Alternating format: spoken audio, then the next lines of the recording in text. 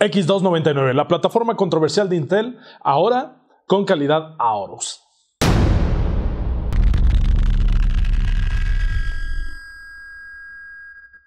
Así es, adictos digitales, bienvenidos. En esta ocasión vamos a revisar esta motherboard de Aorus, que como ya saben, incluye el chipset X299, el cual ha sido polémico en últimas fechas por el soporte de procesadores que nos da y por las capacidades o discapacidades que presenta dependiendo del chip que nosotros vayamos a escoger para estas placas. Haciendo a un lado toda la polémica de X299, vamos a hablar en concreto de esta motherboard, la cual nos ofrece varias características que son extremadamente buenas y al ser una Gaming 3, quiere decir una especie de serie de entrada dentro de la gama alta, pues también nos va a ofrecer un precio bastante razonable.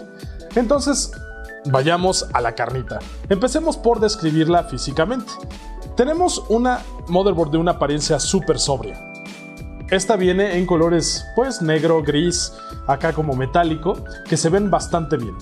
Y bien me refiero a que es muy neutral y podemos realmente combinarla con casi cualquier cosa que la quieran poner. Gráficas de color blanco o con acentos en naranja como las que ya tenemos en Gigabyte o no sé, gráficas que tengan muchas luces. Todo esto puede funcionar bien. Incluso en un gabinete blanco se puede ver también de maravilla, ya lo, ya lo hemos hecho nosotros, ya que tiene varios highlights o brillos que son dados por este metal que utiliza como refuerzo en varias partes. Pero vamos a seguir con las características de estética. Por ejemplo, tenemos un heatsink arriba del, chipset que es bastante, bastante prominente y tiene el logotipo de Aorus. Ahí también vamos a tener iluminación RGB.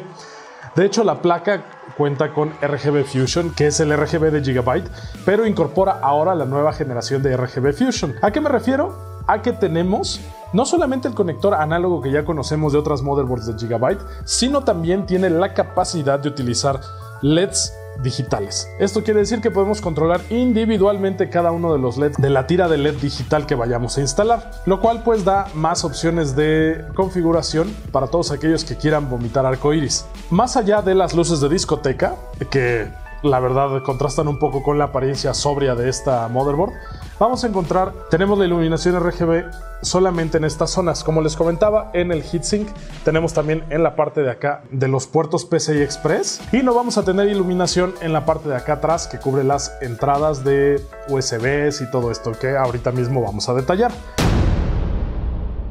Pues en cuestión de periféricos y dispositivos de almacenamiento que podemos poner adentro del gabinete, tenemos opciones muy interesantes. Por ejemplo, vamos a encontrar dos conectores USB 2.0 internos, ya sea que tengan una de estas sticks que se ponen o que su gabinete soporte los dos. vamos a encontrar también dos conectores para USB 3.0 frontal y vamos a encontrar también 8 puertos SATA. Sí, 8 puertos SATA que van a estar bastante bien por si queremos hacer un RAID o cualquiera de estas eh, acomodos para varios discos. También encontramos que ya viene compatible con la tecnología Optane de Intel, por si ustedes quisieran utilizar simplemente un disco duro estúpidamente grande y una memoria Optane para tener velocidades parecidas a las de un SSD sin necesidad de tener un SSD.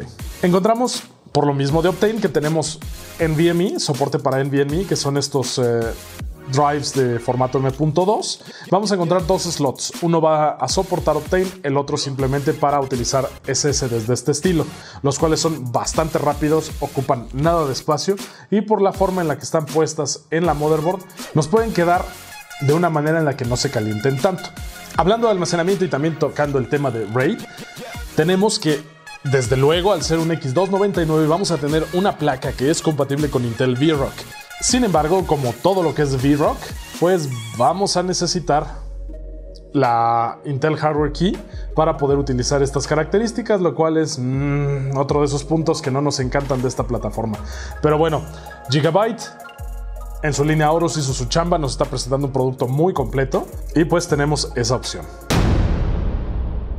Ya que hablamos de que es un X299, también nos vamos a encontrar un socket nuevo, que es el 2066. Y vamos a tener soporte para procesadores de la familia Core X, tanto Skylake X como Kaby Lake X. Kaby Lake X ya hicimos un pequeño video de opinión, el cual pueden ver en las anotaciones. Y de Skylake X pues tenemos chips que son bastante potentes, llegando incluso hasta el Core i9 que todos babeamos por él. Una característica importante de este socket es que comparte anclajes para enfriadores y backplates con los socket X99 igual de Intel. Por lo tanto, si tenían algún enfriador, radiador, todo esto que pudieran querer utilizar con esta nueva plataforma, lo van a poder hacer. Entonces no hay ningún problema, es compatible, es retrocompatible con todos estos estándares en cuestión de enfriadores. Para procesadores Skylake X y más bien hablando ya del tope de gama, vamos a poder incluso retacar esta motherboard con hasta 128 GB de memoria RAM, lo cual es bestial. Pues está muy bien, si vamos a trabajar con una plataforma de estas, quizás le vayamos a dar un uso más profesional que, que gaming. Entonces, para todos aquellos que están metidos en arquitectura, haciendo modelado 3D, que ya se dedican a imprimir cosas en tres dimensiones y que requieren de este poder para el modelado, definitivamente esta es una plataforma que se nos puede dar y que con el soporte de RAM uf, va a ser la delicia para esos renders. Otro punto muy importante del soporte de la RAM es que soporta perfiles XMP de hasta 4400 MHz. Por lo tanto pueden tener esa RAM bastante, bastante rápida. Ojo, hay que checar cuáles memorias son compatibles y pues comprar de acuerdo con esto. Para conectar todos nuestros dispositivos en la parte de atrás tenemos una selección bastante nutrida de puertos. Primero vamos a empezar con un clásico, el puerto PS2, el cual ya podemos tener ahí para un ratón o un teclado por hardware que nos traiga los recuerdos de años ya pasados, o que bien sea nuestra preferencia simplemente por la forma en la que trabajan estos teclados. Abajo de ese mismo tenemos dos puertos USB 3.0. De hecho, cabe mencionar que en la parte trasera de esta placa ya no vamos a encontrar USB 2.0, todos van a ser USB 3.0 o mayor. Entonces les decía, abajo del puerto PS2 encontramos dos USB 3.0, al lado de estos otros USB 3.0 también. Y después de esto vamos a encontrar otros puertos bien interesantes. Tenemos también el estándar USB 3.1, tanto en tipo A como en tipo C. El tipo C se está volviendo cada día más común, entonces era de esperarse que lo encontráramos en esta motherboard. Y ya sabemos que el USB 3.1 es dos veces más rápido que el USB 3.0, por lo que las tasas de transferencia van a ser increíbles. Y es algo que estamos esperando para una motherboard como esta, que tiene incluso acceso a VROC y otras banalidades, digamos para transferencia de datos. Después de eso, en el siguiente módulo vamos a encontrar algo también bastante sencillo, pero que a todos nos encanta, un adaptador de red gigabit, que es ya lo mínimo que esperamos todos, y otros dos USBs 3.0. Y al lado de esto vamos a encontrar nuestro audio que soporta hasta 7.1 canales, pero que no tiene salida óptica. Hablando de las características de audio, vamos a encontrar que tenemos muy buen hardware para lo mismo. Vamos a encontrarnos con una característica que se llama AMP, que es un amplificador inteligente que va a detectar el tipo de audífonos que estamos conectando y va a regular lo que es la impedancia y la ganancia para que nosotros tengamos una mejor experiencia sonora. Y también encontramos el códec de alta definición de audio ALC 1220, por si todo lo demás fuera poco, ¿verdad? Entonces nuestra experiencia sonora, tanto con audífonos como con algún teatro en casa o con bocinas incluso 2.0, no va a ser nada malo. Vamos a tener un sonido envolvente y de buena calidad. Además de que el hardware aquí en la placa viene separado del resto de los componentes para evitar tener ruido electrónico que degrade la señal de nuestro sonido. Ahora, como estamos hablando de una plataforma de alto desempeño, también vamos a encontrar características para enfriar todos los componentes que tengamos aquí. Por ejemplo, esta motherboard incluye 8 conectores para ventiladores, lo cual eso ya te da una muy buena idea de qué tanto puedes enfriar y de qué tanto puedes dejar este sistema a una excelente temperatura y todo controlado desde el software de la motherboard. Este software es SmartFan 5. Aparte de todo esto, uno de los conectores de ventilador que ofrece esta motherboard se puede utilizar para bombas de agua. Ya viene con el soporte nativo de fábrica.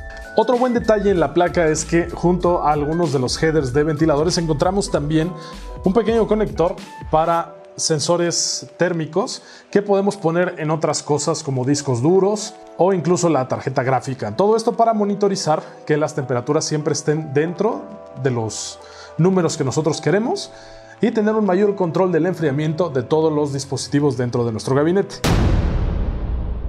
Ahora, vayamos a la parte de abajo de la motherboard. Vamos a encontrarnos dos pequeños botones. Uno dice PWR y el otro dice OC. El PWR literal es un botón de poder para poder encender la motherboard aun cuando no la tengamos metida en un gabinete y no necesitemos conectar el botón dedicado para cuando estamos haciendo pruebas en una test bench o simplemente que hayan sacado para diagnosticar cualquier tipo de cosas. Y el botón de OC, bueno, estas siglas creo que ya las conocen muchos, se refieren a overclock. Entonces este botón nos ayuda a dar un ligero overclock al procesador que tengamos puesto. Esto lo hace de manera automática y no tenemos realmente que preocuparnos por nada de esto. Con respecto a los puertos PCI Express, vamos a encontrar también una selección bastante nutrida. Todos los que vamos a ver tienen el tamaño de un puerto de 16X, aunque no todos son de 16X. Tenemos dos puertos directamente conectados a CPU de 16X, que son los que vienen con la armadura. Esta armadura ultra durable que ya conocemos de Gigabyte les ofrece rigidez extra para que no tengamos problemas con nuestras tarjetas de video pesadas o grandes, que en algún momento podrían llegar a desconectar estos puertos si estamos constantemente cambiando de tarjetas gráficas o transportando esa computadora. Los demás puertos que tenemos, bueno, vamos a soportar hasta un triple SLI gracias a que uno de los puertos que está hasta abajo es también de 8X. Entonces así podríamos tener esta configuración. Los otros dos puertos PCI Express que parecen de longitud de 16X son en realidad puertos de 4X donde podríamos conectar cualquier otro tipo de dispositivo como una tarjeta de red en caso de que necesitáramos wireless o algún otro dispositivo como una capturadora de video en caso de que hagamos tareas que requieran de este tipo de hardware.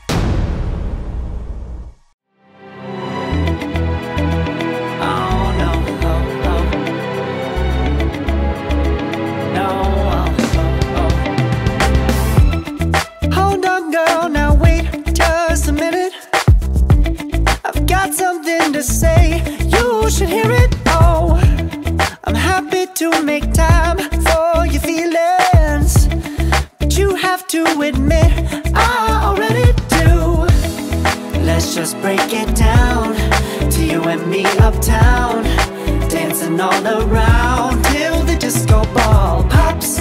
But I have to be me, and everyone can see your anger is misplaced, and I'm gonna tell ya. Don't hate me, cause I get